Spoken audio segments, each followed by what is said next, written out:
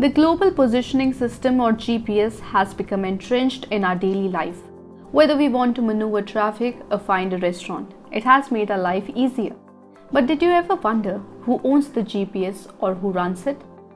Originally, Navstar GPS, the Global Positioning System, is a satellite based radio navigation system owned by the US government, and the United States Space Force operates it. India has found its homegrown alternative to the GPS in the form of NAVIC. The government is taking rapid steps to enhance its adoption. NAVIC stands for Navigation with the Indian Constellation. It is an independent navigation satellite system developed by the Indian Space Research Organization ISRO. NAVIC consists of 8 satellites and covers the entire India. Additionally, it covers up 1,500 kilometers from its boundaries.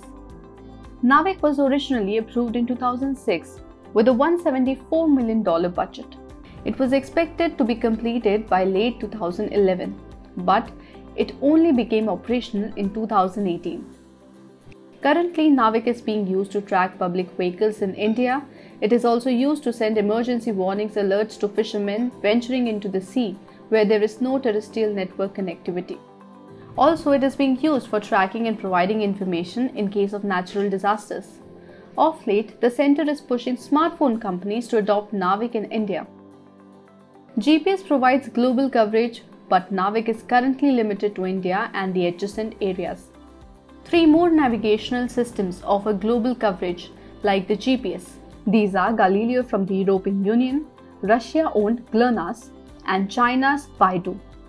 Japan's QZSS provides navigational coverage of Asia Pacific with a specific focus on Japan. The government is aiming to remove foreign dependence on India's navigational requirements. It is more important in the case of strategic sectors. The center believes that relying on GPS and others like it may not be wise for India as they are operated by defense agencies of their respective countries.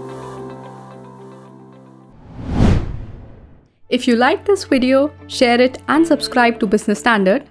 For more news, views and insights, log on to www.business-standard.com. Do also follow us on YouTube, Twitter, Facebook, Instagram, Telegram and LinkedIn.